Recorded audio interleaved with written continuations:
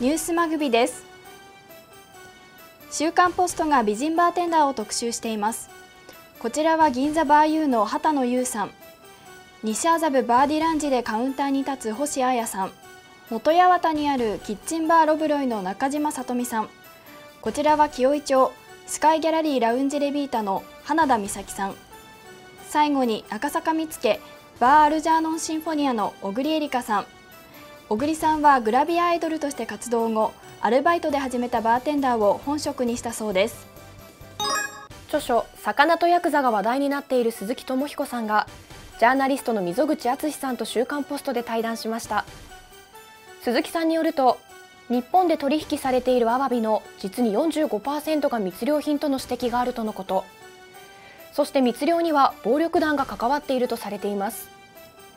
また中国で高級食材となるナマコも密漁が横行。溝口さんは禁漁など取っちゃいけないというルールがあるからこそ暴力団が付け入る隙があると指摘しています。歯磨きの仕方が重大疾患の発症につながるという医学研究が続々と発表されています。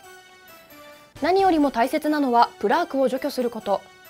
持ち方が重要になるそうです。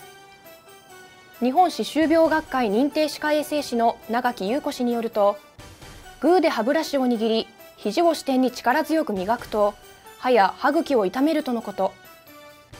ペンで文字を書くように歯ブラシを握ることでより細かな磨き方ができるそうです。他にも奥歯から磨く静かに磨く歯磨き粉は少しだけつけるなどがポイントになるようです。雑誌のニュースを動画でチェック。ニュースマグビ。